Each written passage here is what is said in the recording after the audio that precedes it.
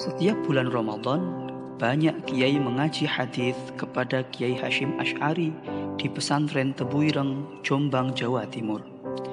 Ternyata di antara mereka terdapat beberapa kiai yang menjadi pengasuh pesantren tempat di mana Kiai Hashim pernah mengaji dahulu. Tentu saja Kiai Hashim merasa keberatan jika mereka menjadi muridnya. Tetapi para kiai sepuh itu tetap bersikeras untuk mengaji kepada Kiai Hashim. Karena Kiai Hashim tidak bisa menolak, maka beliau pun mengajukan syarat. Syarat pertama, beliau tidak mau dipanggil kiai oleh mereka.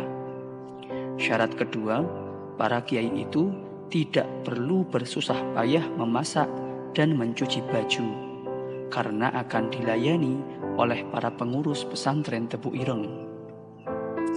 Suatu malam, salah seorang kiai terbangun dan melihat ada orang sedang mengumpulkan baju-baju kotor milik para kiai. Karena penasaran, maka kiai itu mengikuti orang tersebut.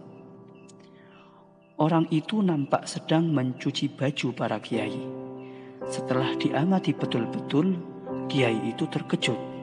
Ternyata orang yang sedang mencucikan baju para kiai itu adalah guru mereka sendiri, yakni Kiai Hashim Ash'ari.